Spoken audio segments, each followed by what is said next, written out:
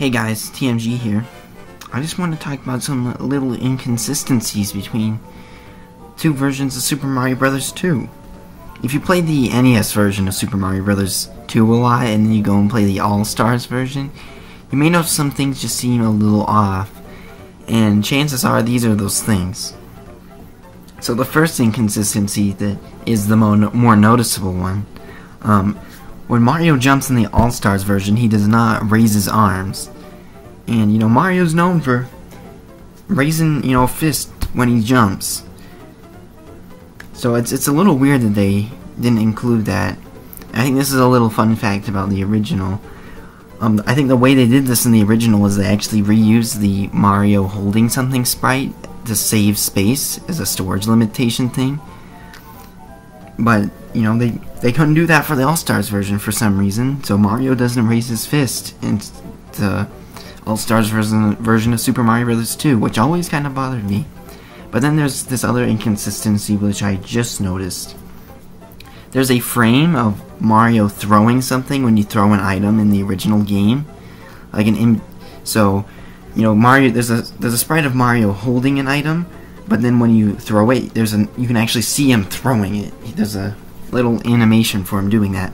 But they didn't put that on the All-Stars version.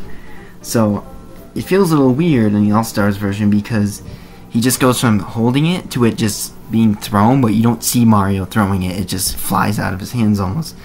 Which you might not even notice because it's so fast.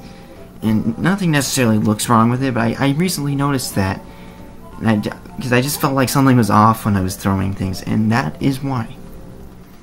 So I hope you enjoyed this little video. Tell me, did you notice these things?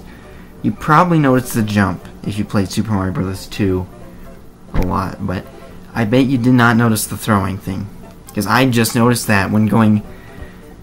I was just look looking over some footage in Super Mario All-Stars. I was like, something feels really off. And then I went to my footage of Super Mario Bros. 2, and I said, oh, I know what it is. When I slowed it down, I could see that frame it just makes all the difference for me.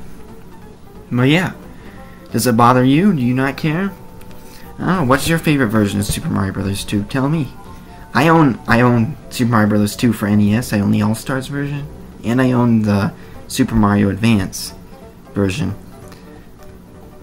So yeah, which is your favorite? I usually play the NES the most, just because I, I prefer the NES versions of the first three Mario games. But yeah.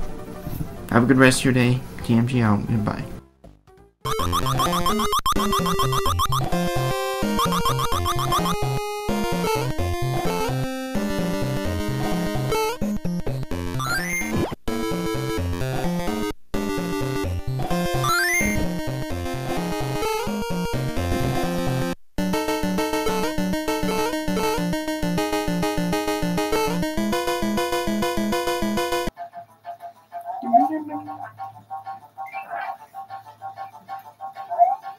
There